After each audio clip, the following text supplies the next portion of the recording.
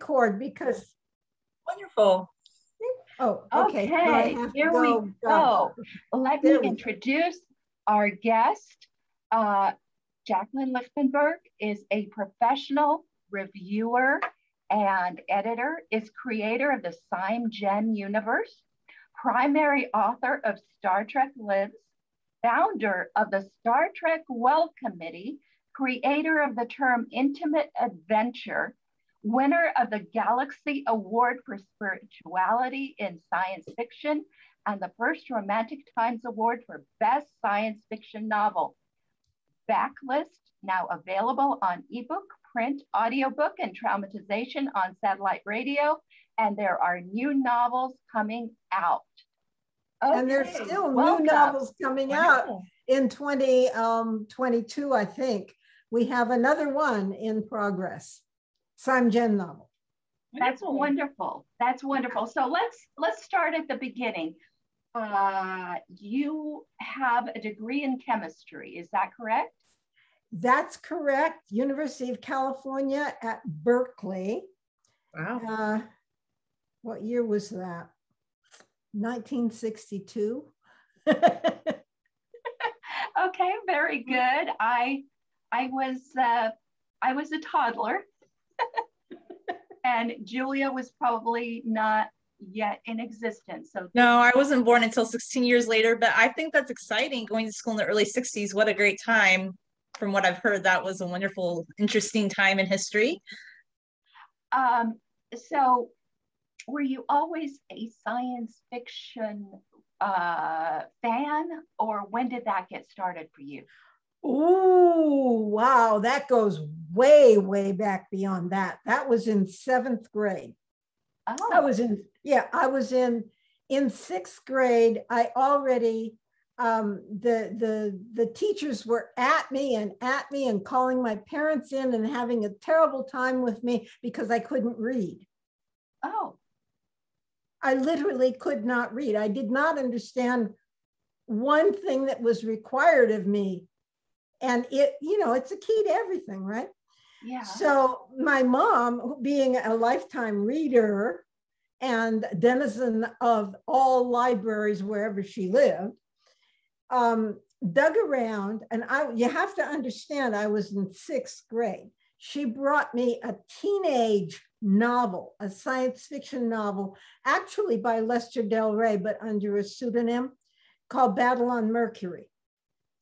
Um, and just handed it to me. Said, This is good book, read it. I couldn't read. She said, Read it. I had measles. I was sick.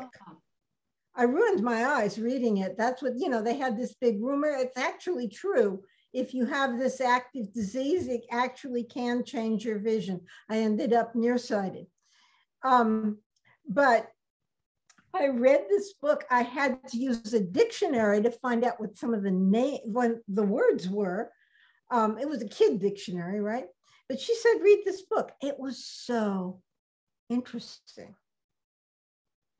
Okay, that I learned to read. It's amazing what you can do when you really want to, and you're not going to let anybody stop you.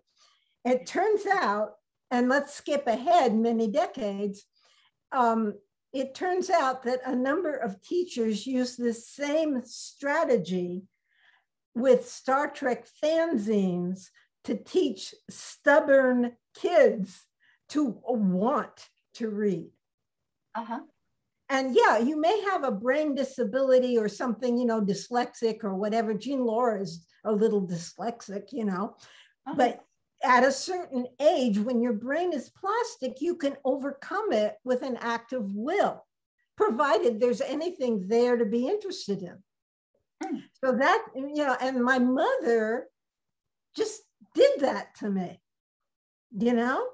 And well, that's a I wonderful story because it shows that somebody who everybody might think would never get anywhere actually uh, had great success in life and science fiction helped get her there.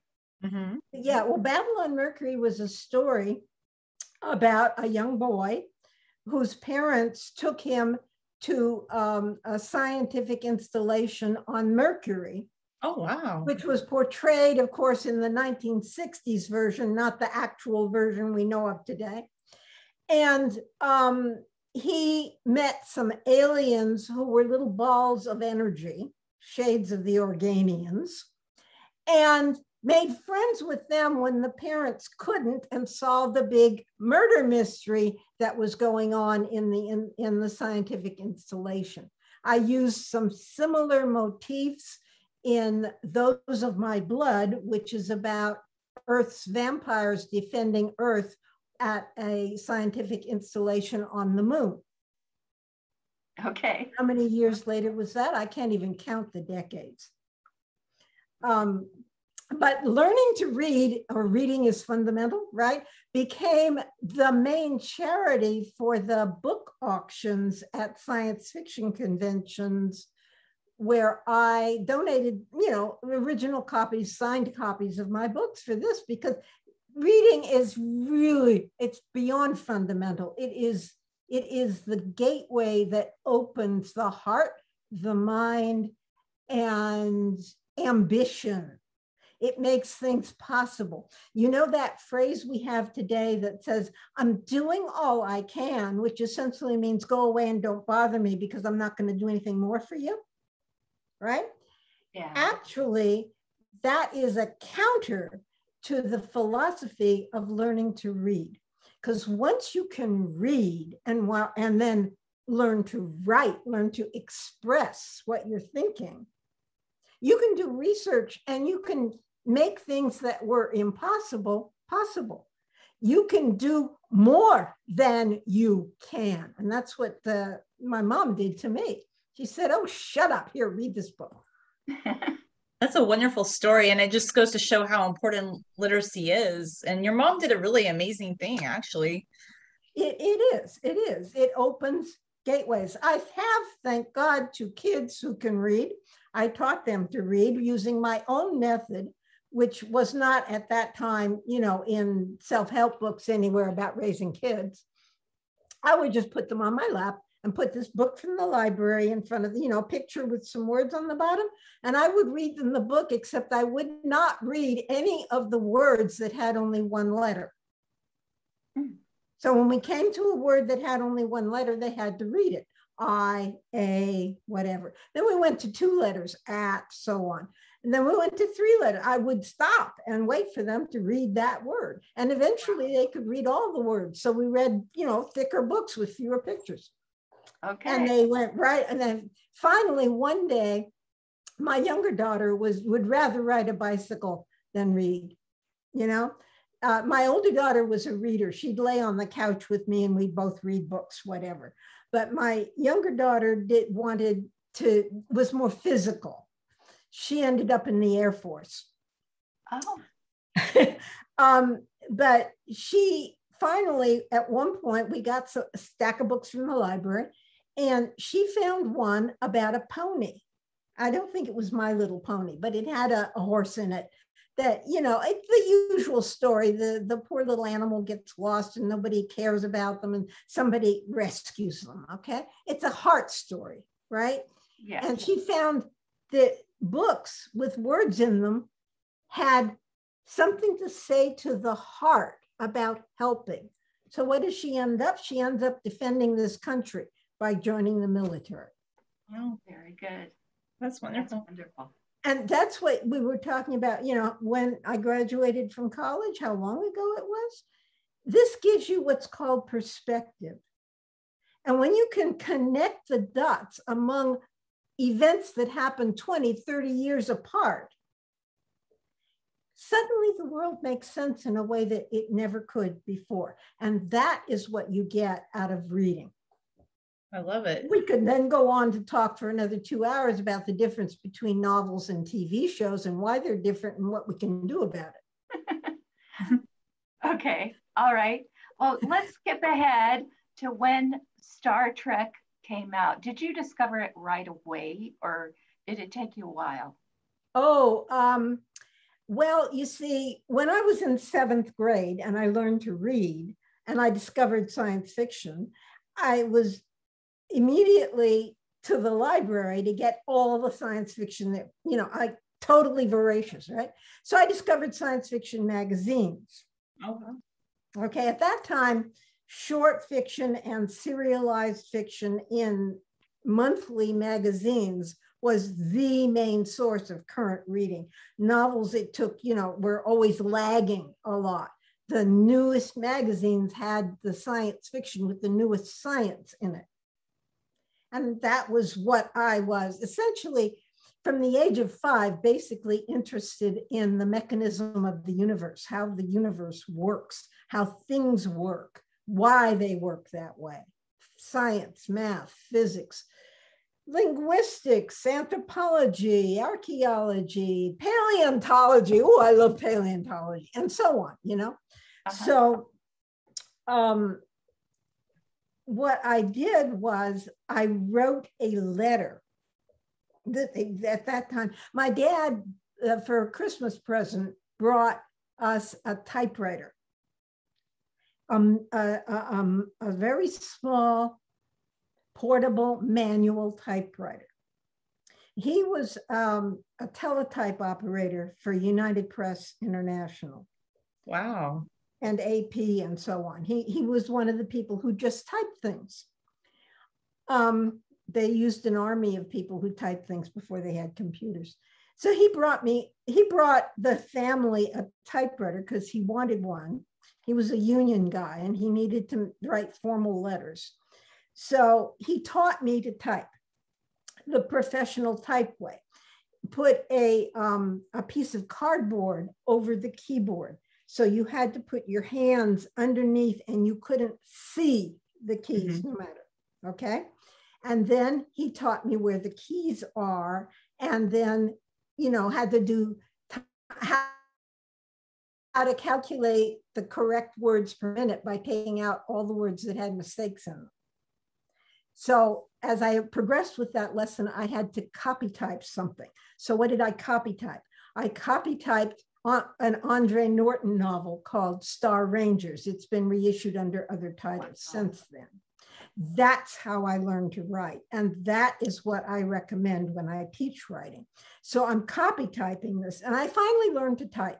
So one day I was reading all these magazines from the library. One day, um, uh, we had a two floor house. So I was upstairs doing some kind of chores or whatever. And I suddenly had this brainstorm of an idea because I was utterly, completely, totally frustrated, disgusted, and repelled by the illustrations in the stories, which did oh. not match the words. Oh.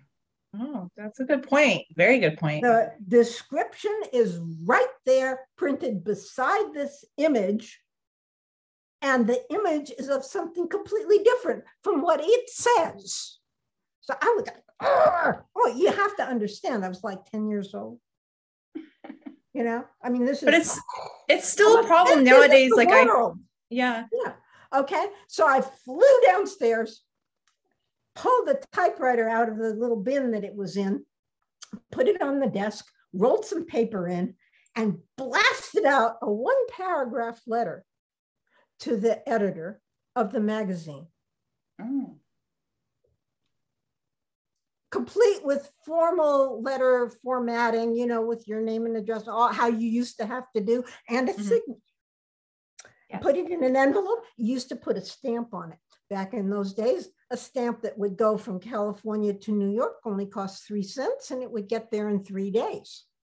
Very good. Uh, we've gone backwards as far as that's concerned. yes. Mm-hmm. Um, so I, I sent off this letter and didn't think anything of it.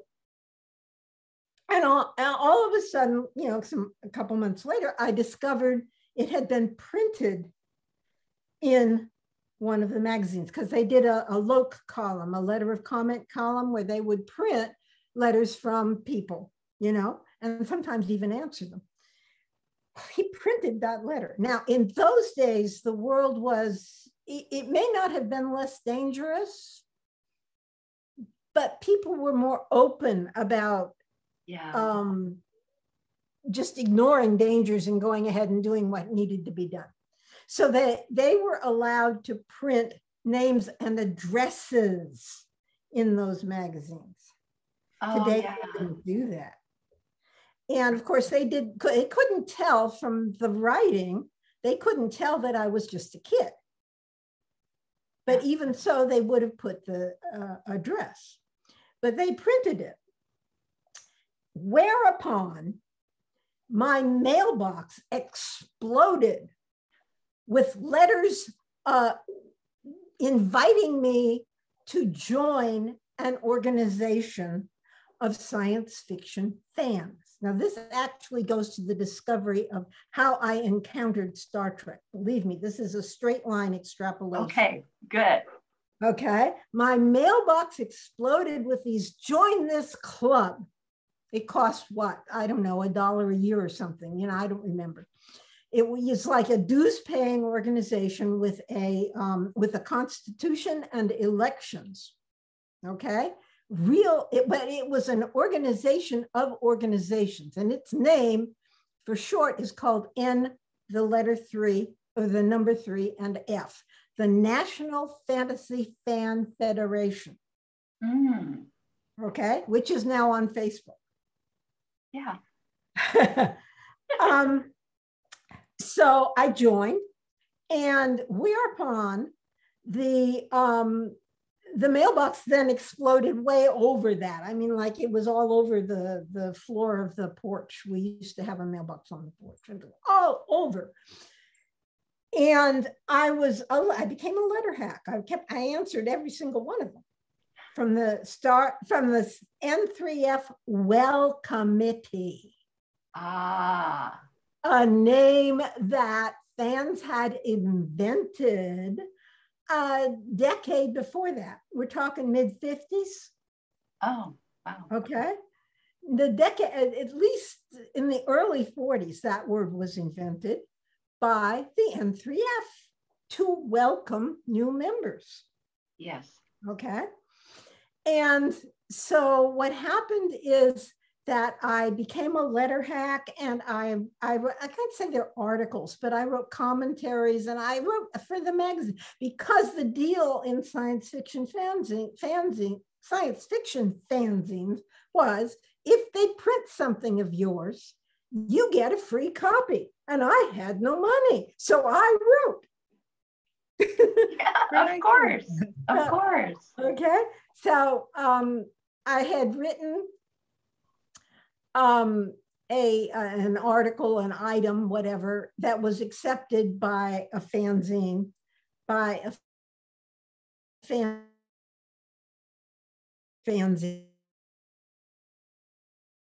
Um, it didn't get printed because life, right? He didn't get. He wanted to get it done, but he didn't. He couldn't get it. He just and he kept on doing it, and eventually he did do it. But in the meantime, I had gone from high school through college to a job in California to a, a couple of years that I lived in Israel, and that's a whole other story. Oh wow, you lived in Israel. You've been every that's exciting. Just after I got married and moved into my husband's apartment,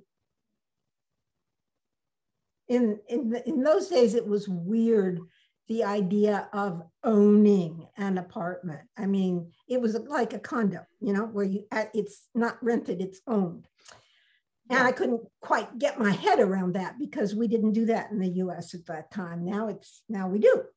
Mm-hmm. Um, it's a different world. But at that time, finally, finally, finally, a whole dump of mail arrived. And it had in it a whole bunch of stuff that had been forwarded it went to my parents' house. It got forwarded to where I was living in Berkeley. It got forwarded and forwarded. It got forwarded to Israel. It got forwarded oh, from oh, my first Israel address to my second, and it got forwarded from my second to where I was at that time. And guess what? That was in that dump of mail. It was a big package. The fanzine that I had contributed to. Wow. And what was inside, folded inside that fanzine, Bjo Trimble's letter keep Star Trek on the air, her first one. Wow. But had you seen Star Trek yet or not?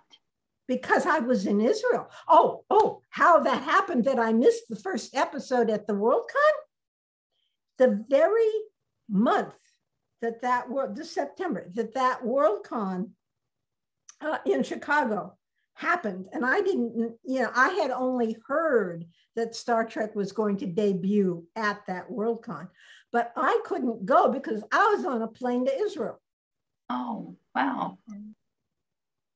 So, so here I am, uh, you know, it was my new husband, you know, trying to figure out, because at that time we were planning to move back to New York.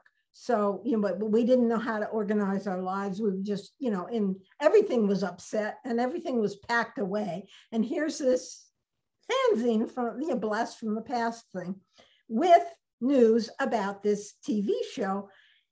And Bjo Trimble, whom I knew from Bay Area fandom, right? Her judgment I trusted. Yes. Because of her track record in fandom. Yeah, I met Bjo many years later. And so I saw that I had heard about the Star Trek debut at the Worldcon, but I hadn't heard about whatever, you know, how people reacted to that debut. At that point, I didn't know it was a good show. I thought, oh God, they're gonna mess this oh, this is going to be terrible. Well, it doesn't matter. I mean, they always do it wrong. We know that. So, you know, I had no qualms about missing that Worldcon. Okay. But then comes this letter from Bjo saying it's a good show. We got to keep it on the air. What do you mean canceled? What do you mean canceled? And then she tells, you know, and she tells me about Spock and it, it, it was, you know, and I got in this fanzine, there was more stuff about, you know, what it, what, what was really going on with this TV show.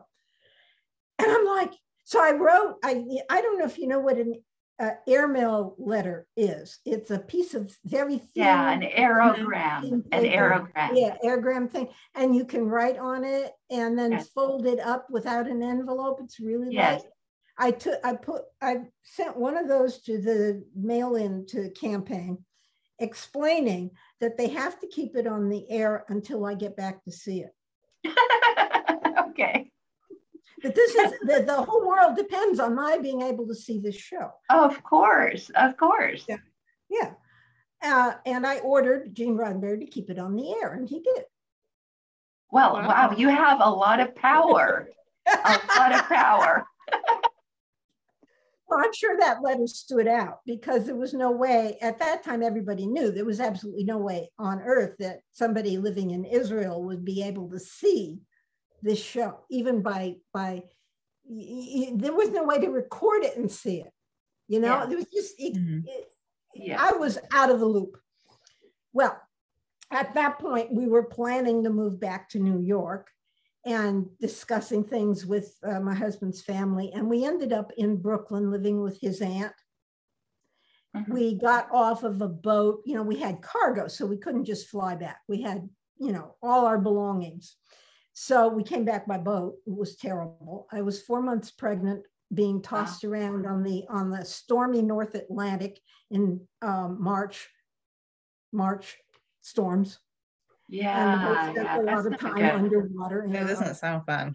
I was so sick. Oh, I lost so much weight. Oh, whole other story. That was my first daughter. She's actually Sabra because she was conceived in Israel, but born in the U.S. Oh, I didn't know that you could be uh, Sabra. Uh, Nobody made a rule about that yet. okay, okay. And anyway, um, so I we we got back to my um, my husband's family, and we had just arrived that very day we got off the boat and there was still scraggly bits of snow in the gutters around you know how new york gets kind of dirty and drab looking as, as the snow melts and we got back to their house and they had there was family all over brooklyn so the, they they had like a party right she invited everybody who could come over you know and the, the it's a house it's a house full mm-hmm. Okay. We had a house full of my brand new in laws. Wow. Right. And they're all sitting around the living room trying to get to know me. And somebody says, What's on television? Oh. You know, the TV guide, the little booklet, they're passing it around to say, What do you want to watch? What should we turn on? and so they they you know to the time and the um you know and the shows the list of shows on the page and they hand me this tv guide and right there my eye lands on star trek. Wow. Wow. Oh we gotta watch this show which, which episode? Which episode was it? I don't remember. Okay. Okay? I actually don't remember. I could I, I've kind of figured it out from my memoirs. I kind of figured it out triangulating by what the date was at the first broadcast of whatever show. And I tried to remember what date this was.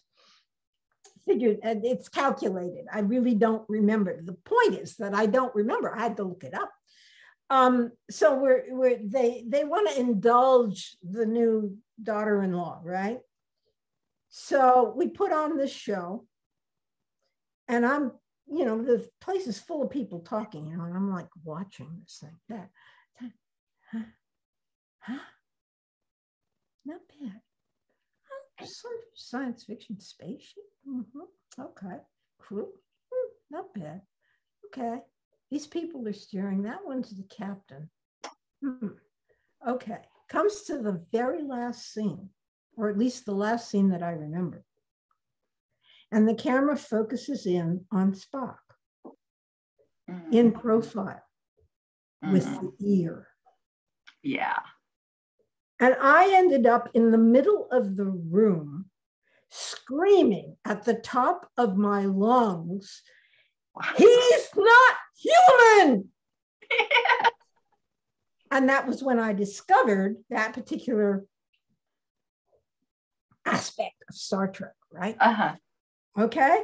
Yeah. And of course, it, the amazing, miraculous thing about that moment is that my in laws didn't throw me out. they were all muggles. Yeah. All of them. Yeah. and so, um, you know, I, it changed my life. That is the seminal moment that defined my entire life. Oh, wow. That is so neat.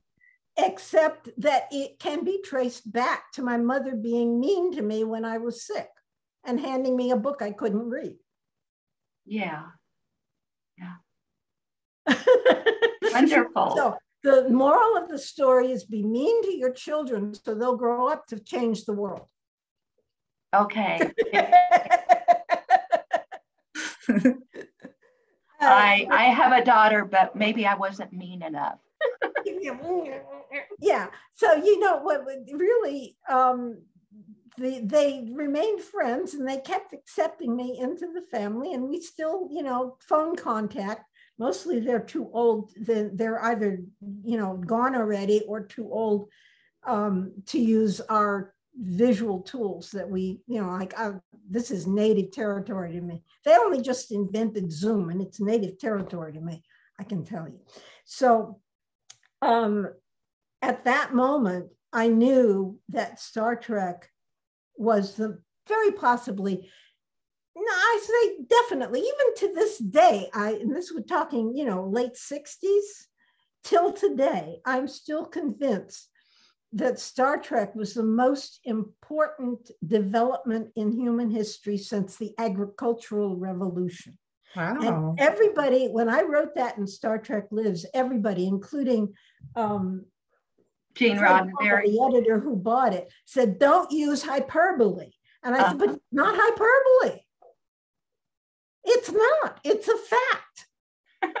and if we and if you look at all the things that have happened subsequent to that moment of it's he's not human and you didn't know it for the entire show yeah And we all identified with him because we all felt that we weren't human, right?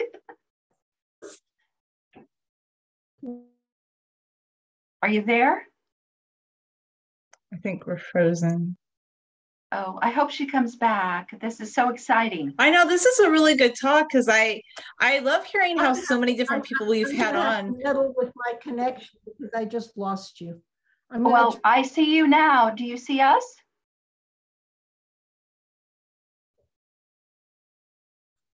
I think we're back. Are we better? Yeah, good. Yes. Yeah. yes. Okay. Yeah, because it kind of faded out a little. I have, It does that with Zoom sometimes, unfortunately. Yeah, I know a lot. So the fact that they had that um, non-human character as a significant contributor to the management of the ship, not just somebody who does the washing or something. um, actually was a significant addition to science fiction on television, to kiddie, okay? It's what elevated Star Trek above the kiddie shows. When you learn the backstory in Star Trek Lives, ta-da, right? In Star Trek Lives, you learn the backstory of how that happened, and you find out that Gene Roddenberry is the genius who did it. Gene Roddenberry is the person who had to fight and put his career on the line. At that point, his career was embryonic. He had, like the lieutenant, he had written for a, a, a, lot of shows. He was well known in the industry, but only inside the industry, not out. Mm-hmm. And he hadn't produced any, you know, blockbuster movies or anything. He was he was just a workaday Joe who had this crazy idea, and they had you know, maybe some time that they had to fill because something else happened. And for commercial reasons, they said, oh, well, make us a pilot. And then they said, no, you can't have this. You can't have a woman in charge of men. Yeah, number one. We're talking mid 60s in the development stage, early 60s to mid 60s, right? You can't have a woman bossing men around. My daughter was a lieutenant colonel in the wow. Mm-hmm. He's not human. It's all connected. Yes. So um, he fought to keep Spock, and they made him choose between number one, the woman on the bridge, and Spock, the alien on the bridge and he chose Spock. If he'd chosen the woman, we wouldn't be where we are now. Yeah. Believe it or not, the choosing Spock is one of the things that broke through the glass ceiling, you know, the idea that women can't do things because they're women. How did it do that?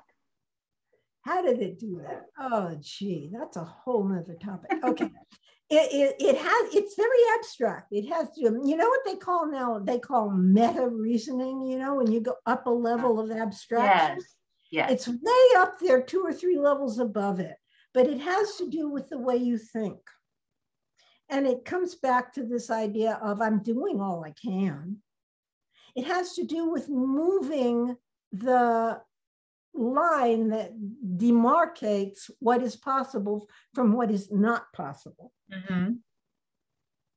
The greatest generation that won World Wars II, right, pushed that line of the possible.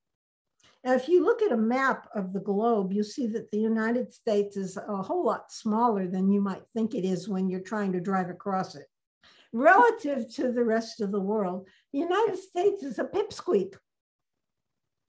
And at that time, we had, I think, a third of the population we have now. We, and we had about 100 million, and we're like 300 million now. We're talking millions. You know how many millions there are in the rest of the world? Okay. We're a pipsqueak, and we won that war on two fronts. How did that happen? Well, the Russians changed sides. That was part of it. Well, how, well, how did that happen? You see, this is doing the impossible. that was the mindset that I inherited from my parents. That if it's impossible, that's what you were born to do. The, and it goes back to how I was I learned to read. You know, I couldn't do it. Do it anyway. Yeah. That's an attitude, and you learn it. Okay, it's a learned attitude. Anybody mm-hmm. can learn. Some people may have a harder time than others, but it's an attitude of that's impossible. Oh, wow, that's interesting. Well, that's Spock, isn't it? An alien on the bridge among humans of a starship going, you know, in, in, in space. We can't even get into orbit at that time. That was impossible. The moon was made of green cheese. You crawl to the edge and you look down at the earth. What? okay. That was the mindset of the majority of people on earth. It, Why? It, okay, let's move forward. Why did they want to cancel Star Trek? uh, what was because the Star Trek showed you that it was that you could do the impossible. If you could do the impossible, you are a threat to the people who have control.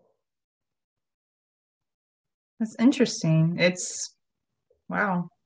Think about it. Now, what's happening? They pushed Star Trek down, they canceled it. Fanzines erupted. The fanzines ignited the imagination of an entire generation of college students. Yes, okay. Fanzines ignited the imagination of college students we had we were fans of a canceled TV show. Up until that time, no radio or TV show that was canceled for commercial reasons had ever been revived by the fans. Wow. It was impossible. But you did the impossible. You revived it, right? You got it. I learned to read. It was impossible. But I did it anyway. They canceled my TV show. It, you can't get a TV show back. Oh, I did it anyway. But I wasn't alone. There was a cast of hundreds of thousands of people. Okay. Wow. That's yeah. pretty cool. That's that's amazing, actually. That's what happened. That's the fact of the matter. It is an attitude, like I said, meta meta, right? It's an attitude which sifts down. Now, what happened was Gene Roddenberry took the um, debut of Star Trek to Chicago Worldcon. This connected the network, the existing network of science fiction fandom, which was an, a very tightly knit, but very small network of people all over the country. And, and they're not that much international, but there was some. And he con- he connected with this network and went three years into this show where they only got the third well the first time they tried to cancel it one of the connected fans put out a write-in campaign Bjo and they they rethought what they were doing. They were saying well maybe we should give it another chance. So they did one more then they wanted to cancel it again, which ended up in the disastrous third season. But it was a third season, and that was what was required. You had to have a certain number of shows to get repeats in syndication. Okay. And they made that minimum, just barely, but they made them in 78, I think it is. Um, so they made that third season, and it was terrible, but never mind. Because that was really the important thing it was a terrible third season of a decent first season, followed by a shaky second season, followed by a really terrible third season. But it was connected in and being discussed by a connected network, a market called science fiction fandom, which was like 5% of all the people who read science fiction books. Okay. These are the people who really understand why science is important. and why the attitude of science, one of that meta, meta, meta things, to be a scientist, you have to have Spock's curiosity, the kind of curiosity that says, that's impossible? Oh, come on. I could do that. Yeah, right? you will do it. Attitude. Yeah. yeah. Yeah. So um, it's the entrepreneurial attitude, really. It's the idea that, well, nobody else can do it, but certainly I can. and so they um, created this situation where a whole bunch of people who thought these ideas, because science fiction was defined as the literature of ideas, they thought these ideas were important not just to themselves, but to all humanity. Wow. Got it? So, what happened was because the third season was so terrible, everybody leaped in to fix it. Oh, I love it. That's what fanzines are. There are these plot holes, gigantic plot holes. This is not possible. You can't have this and that. It's not possible. It does not connect. It doesn't make sense. Nobody would do that. Well, what is it that they know that we don't know? Wait a minute, what's really going on here? Exactly how did that happen? What would have to be, what alternate universe would you have to go to to change what piece of history to make this piece of science actually work? Okay, that's fanzines. Right. So tell us about Kraith. When did you start with Kraith? Oh, well, again, it comes back to this N3F thing that I was in since seventh grade.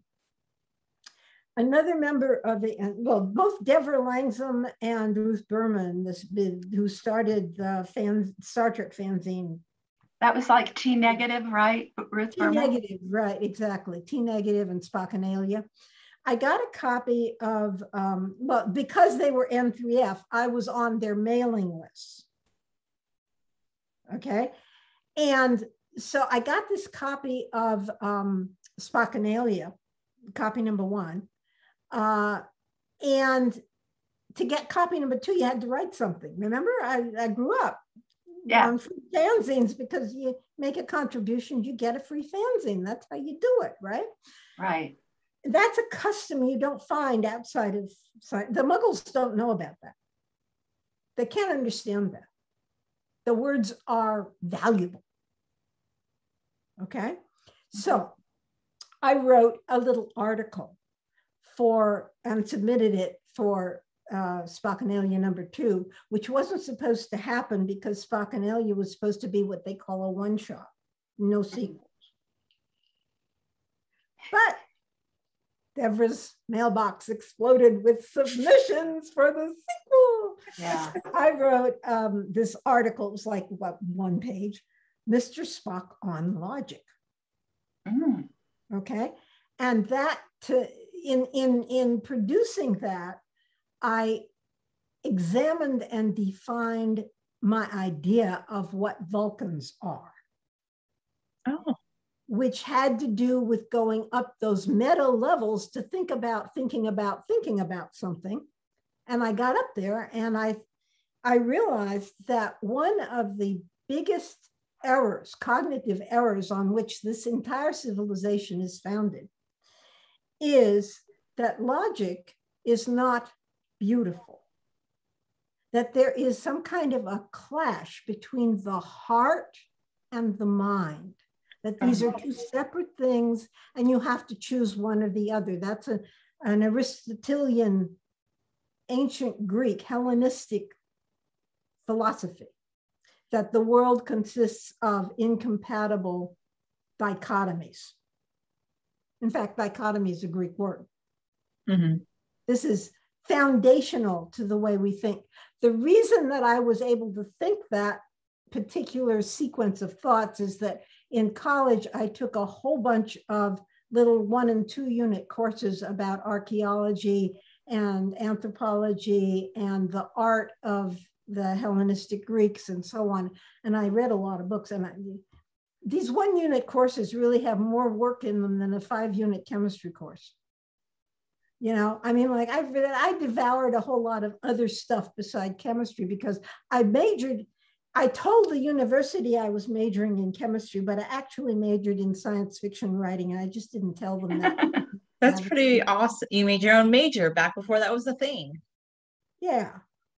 So um, I, I decided in Mr. Spock on Logic, I penetrated my thinking. I codified what I was feeling mm-hmm. and created a slogan, which is the slogan behind or the prevailing theme behind the Kraith universe. Logic is beautiful. I got stickers made and put that on the envelopes. I used to send letters in envelopes, and I put stickers on my envelopes saying "Logic is beautiful." That became my theme song. Wow. Mm, and and and very very few people ever really understood that, except that now I think it's coming into vogue. In some ways, we're beginning to see some people thinking along these lines. And I think that's, you know, it's really it's interesting to watch the way this goes down, you know, through the generations. Anyway, so I wrote that article and clarified in my own mind what Vulcan was about, as opposed to and in contrast with what Gene Roddenberry thought Vulcan was about. Yeah, he had uh, them suppressing their emotions for the sake of logic. Uh, he was wrong. Yeah.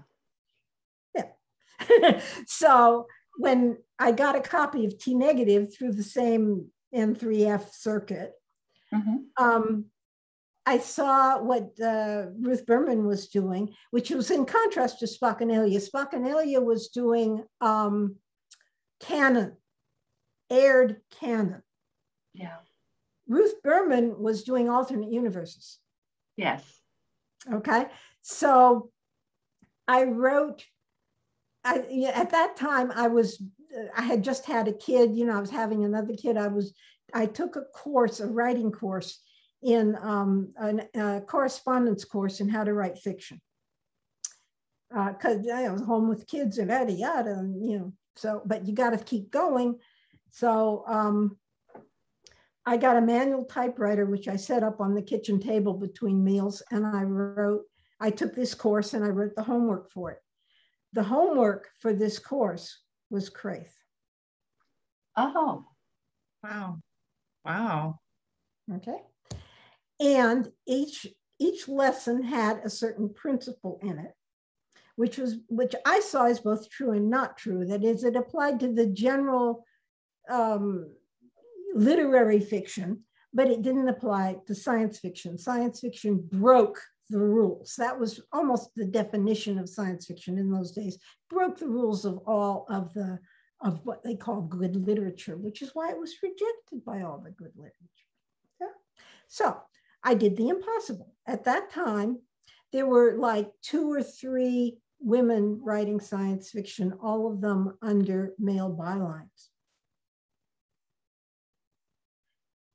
I was writing Kraith as Jacqueline Lichtenberg.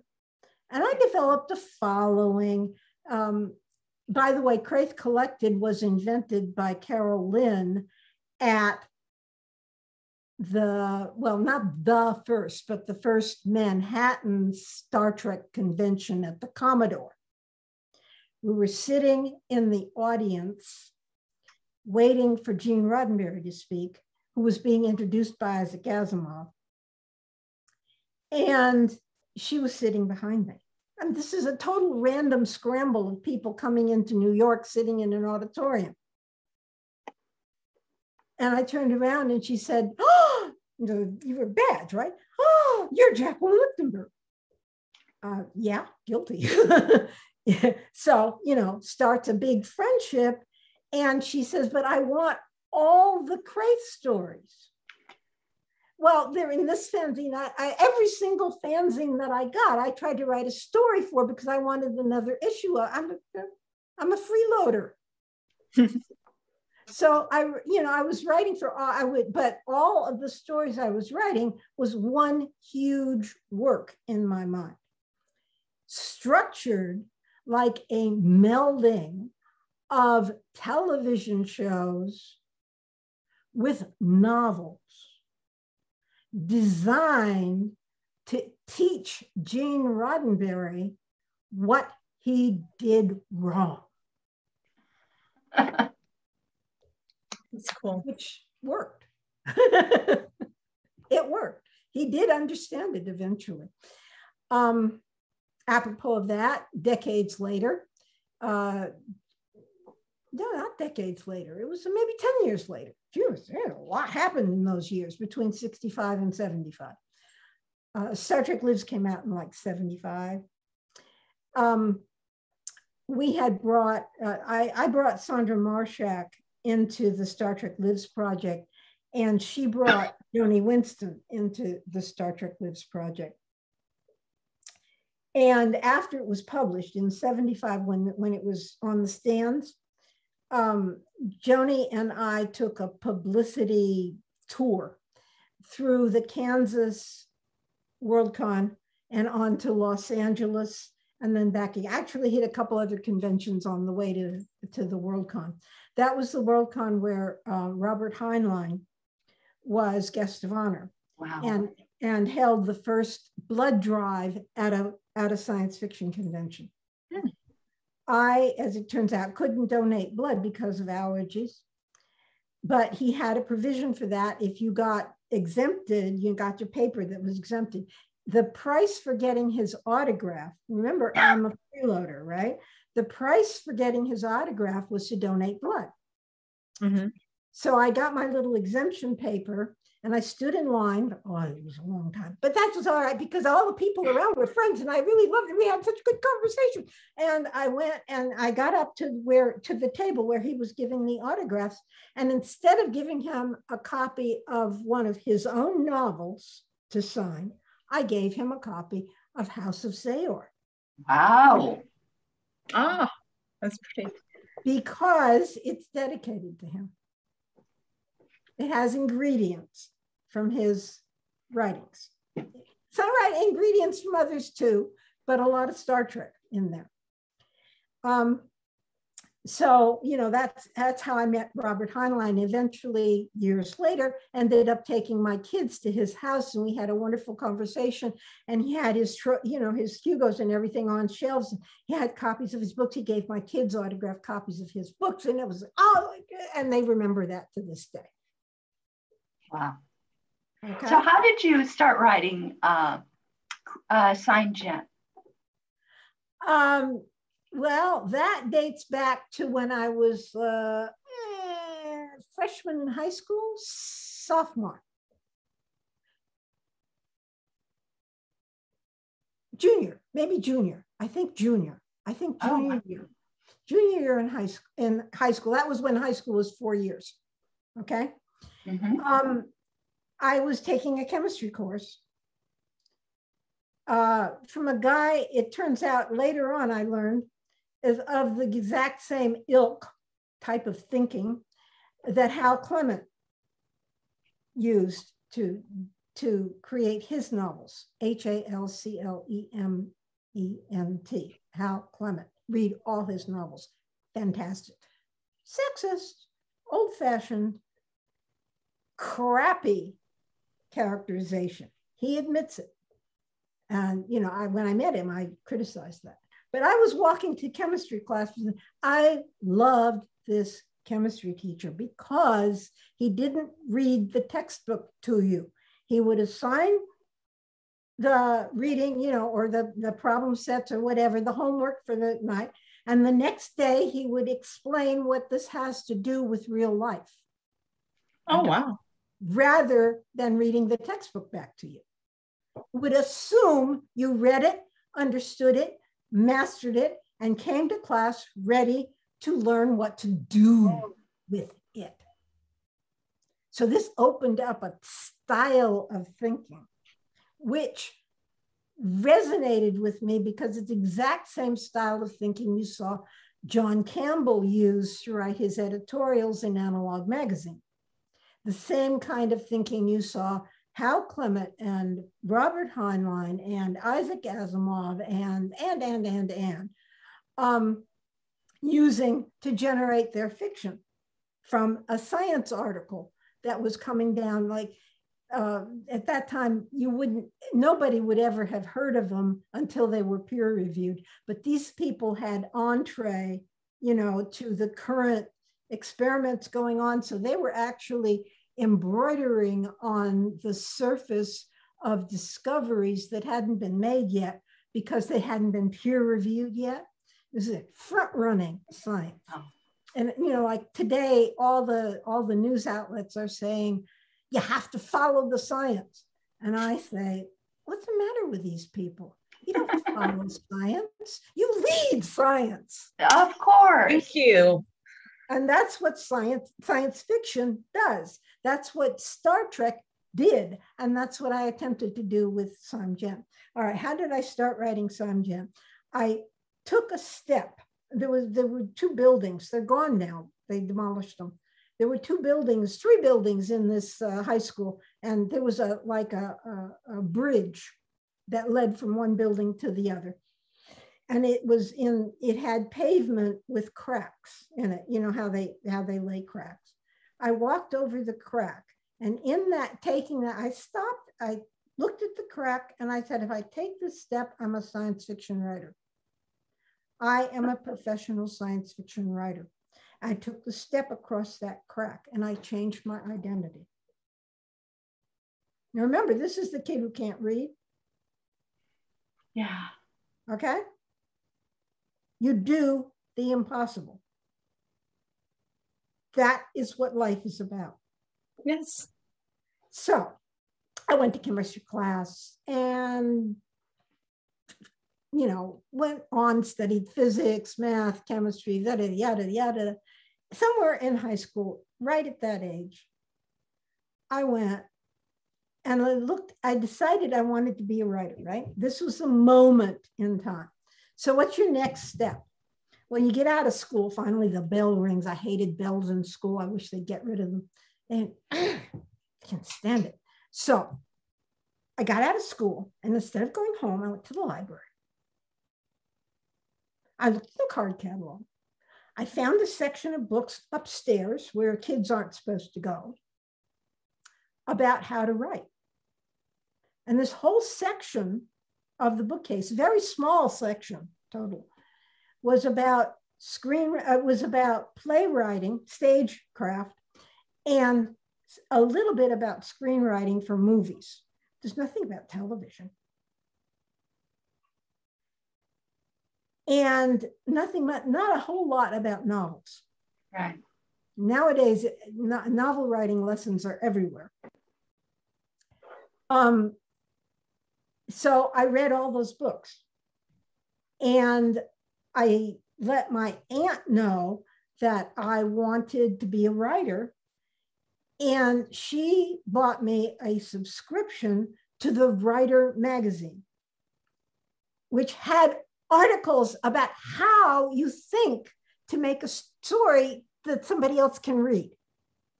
So I read all of that. I read about screenwriting. I read and I practiced. And the um, N3F, again, this all figures through. This is not five different conversations about different subjects. It's just one subject here. Yeah. The N3F had a professional writer called, her name was Alma Hill, who taught me everything there is to know about writing in one sentence. Writing is a performing art. That's the key. Yeah. Okay. That's what you're doing when you write a story. The same thing that an actor does when creating a character. Okay. So I wrote short stories for her. Then they, N3F had another bureau, another department run by some other people called a story robin. We do that today at some Star Trek and science fiction conventions where you sit around in a circle and you say, you know, um, it was a dark and stormy night. Then the next person says what happened next. Yeah. Um, so this is like a robin where everybody writes a page and then some and send it on to the next person who writes a page. And there's a circle of people and it has to come around and it goes around and goes around. So I participated in that and I was a terrible hack. I killed a robin finally when I was a freshman in uh, college because I simply didn't have time to do it. And it, yeah. it, just sat on my desk and I didn't do it. And so I'm very, to this day, embarrassed by that failure. But I kept those robins going. I would, it would come in the mail and I would write that night and it would go out in the mail the next morning, just like that. And I had so much fun doing that. That got me, that got me thinking like storycraft. Right. But okay, to me, oh, I, yeah, let me get the Sime~Gen. See, this gives you when you're reading and writing and finding out how what you're reading got created, you begin to understand what you're looking at. Okay, when you look at a story. And then what I did not learn at that time was the commercial background, the idea, the publishing industry. That mm. something I only learned later, which is why I never made it to the top. Okay. Because I didn't understand marketing. Oh, yeah. Yeah. That kills all of us. That's a whole nother subject.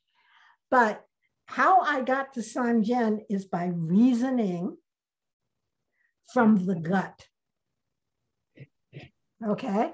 Put the okay. two together logic is beautiful. At that time, I didn't know that logic was beautiful. I didn't know that everybody didn't know it. Okay. okay?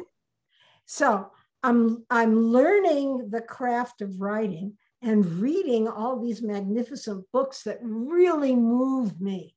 You know, I'm going to do the impossible. This is right. This is what we everybody needs to know that nobody reads science fiction. Everybody has to read science fiction. It is so important. We have to get this out. It has to go, you know, television, right? It needs the giant audience. This is important stuff. How do you do that? Well, the one of the rules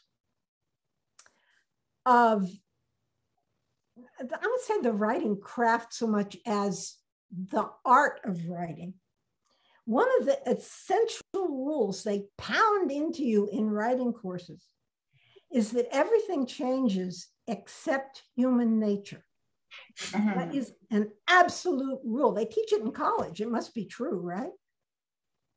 So, does human nature change? What would it take to change human nature? That's the science fiction, science fiction question that Sime~Gen answers. Okay. And now and there's having arrived at that question, I needed to know what element of human nature has to be changed in order to get us out into space. A whole lot of novels at that time were all about, you know, like there's some there's some galactic civilization that has us embargoed, that has us walled off from the rest because we are because we fight each other. And there's all about, you know, you can't take your wars into space. And and humans don't are not worthy of interstellar travel because what you know, because we fight each other. And, and that this was just a few years mm-hmm. after the atomic bomb. You understand this? Yeah, that would make sense, like the historic context. Wow yeah, we can't do that. It's impossible because of our nature. So fix that. Okay. How do you write science fiction? How do you get an idea, a really crazy idea? You get it by defying science and doing the impossible. What if everyone is wrong. What do they have to know? They have to know that other people are not to be killed because you don't like them, because you don't like what they think, because you don't like how they live. Okay, but uh, let, let me interject. From, uh, from, let's say, an objectivist point of view, what Sign Gem is about is interdependence of the greatest sort, where one person cannot continue to live unless another person gives them part of their life Freely force. Gives. Exactly. Yes. Um, the other principle that I learned at that time, now this, you ha- I, I did two other things while I was in high school. I read through the entire UFO collection at the library, and I read through the whole psychology collection. You were, children weren't supposed to do. I had to get my mom to sign those books out, but I read them. Okay, yeah. all kinds of stuff, Freud and everything else,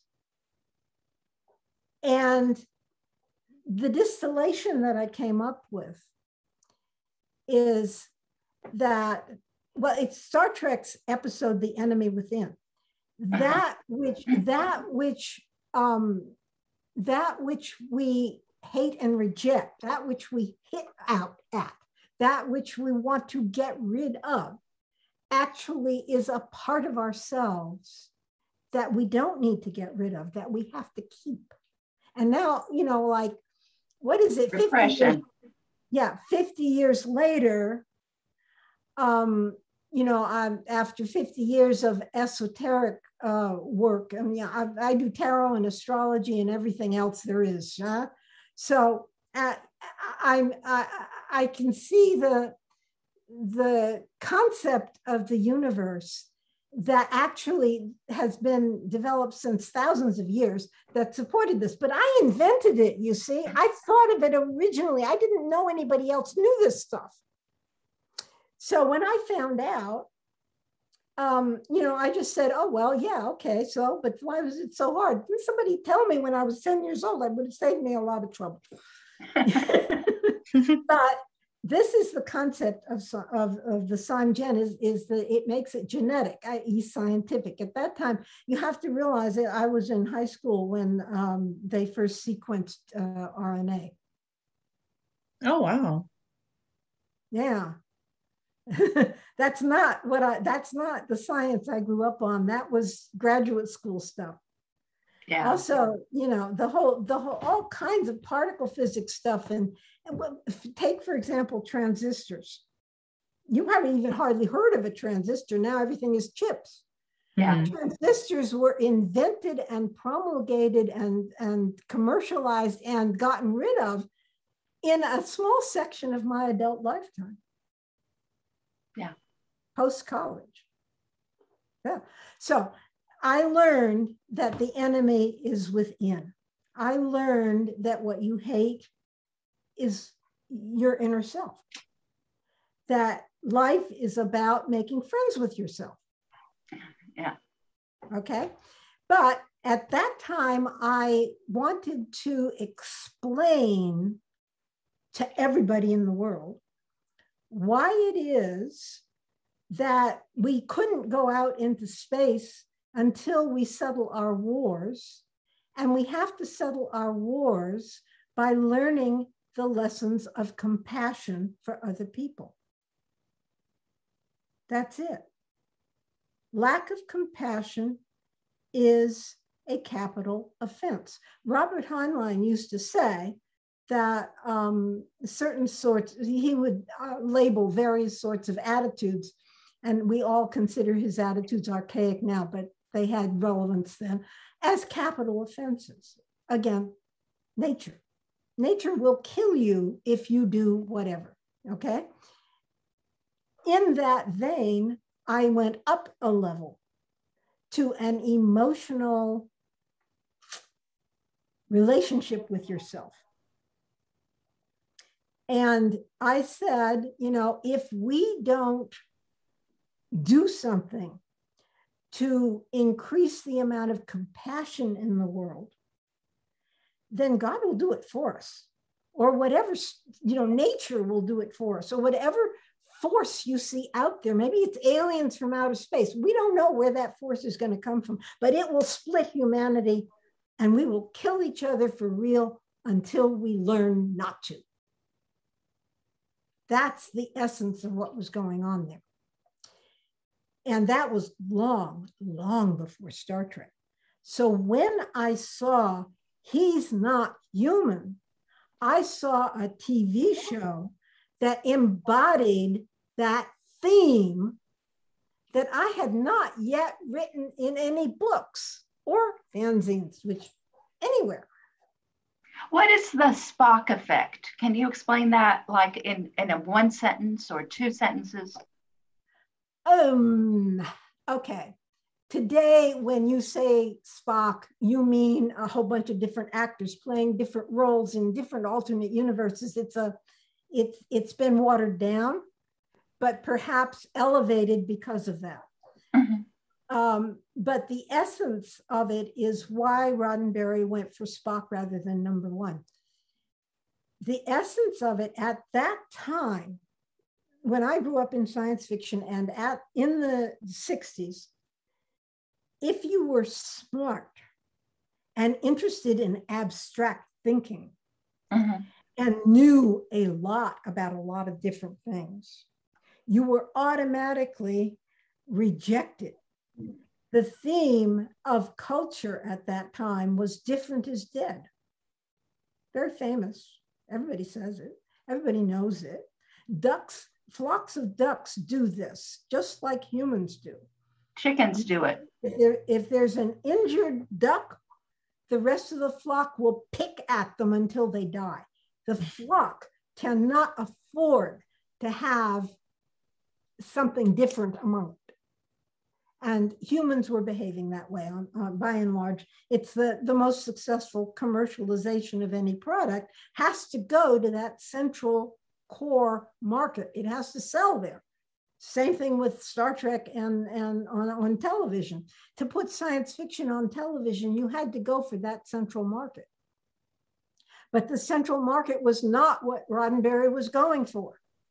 He was going for the people so different they were dead. So it the Spock effect is simply one of an entire array of different effects that composed the original Star Trek.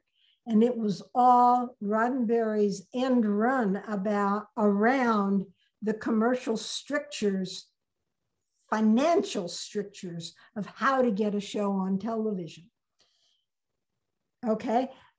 By and large, and on a whole, over uh, decades, even hundreds of years, among all humanity, only about 5% of humans actually read fiction for fun.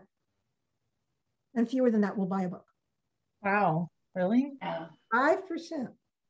Really? Oh, I guess it's true though. Yeah, I guess. Less than 5% of those will take science fiction novel. Okay. Yeah. A minority of a minority of a, who cares about those people? Yeah. Okay.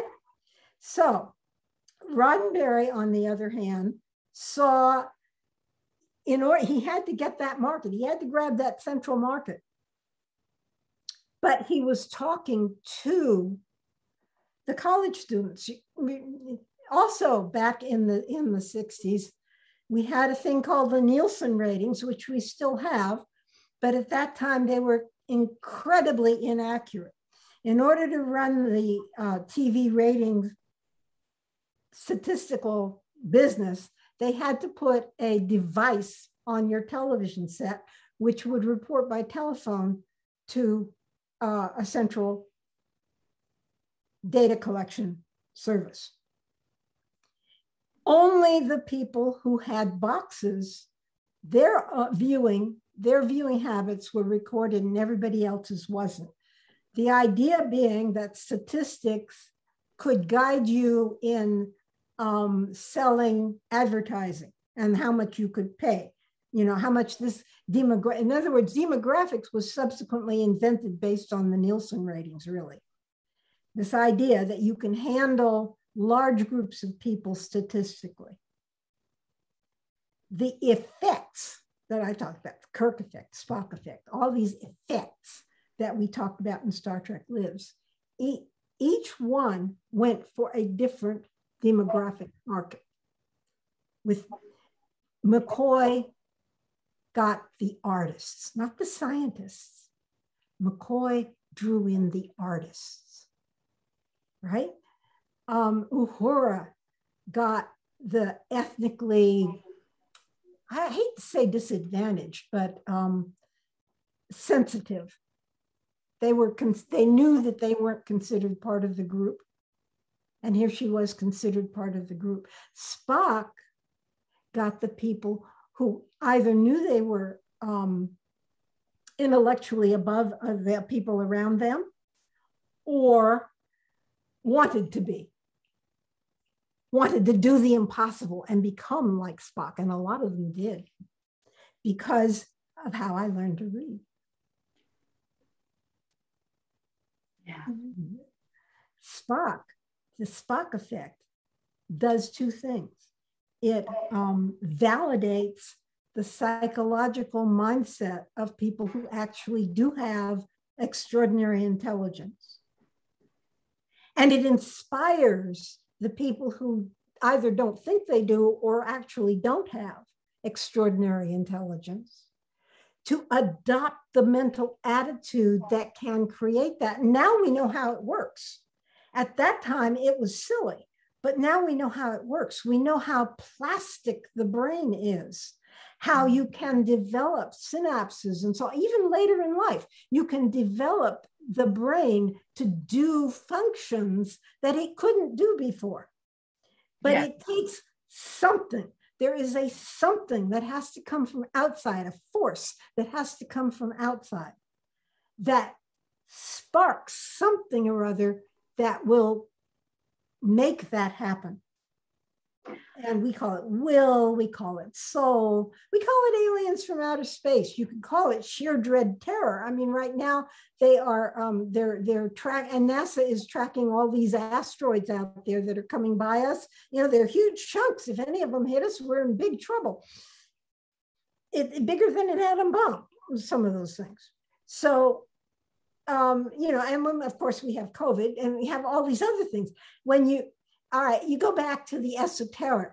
One of the things in esoteric initiations, one of the mental states that you have to induce in order to uh, establish uh, the seed of a new identity in a person, hopefully more ethical or whatever, is fear.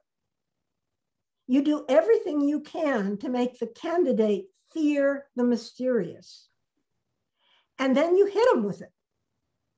And that changes something on a very fundamental level and opens up doorways into doing the impossible, becoming more honest, more uh, charitable, more whatever whatever virtue. And god help us if you're using this to to foster what i don't consider virtues.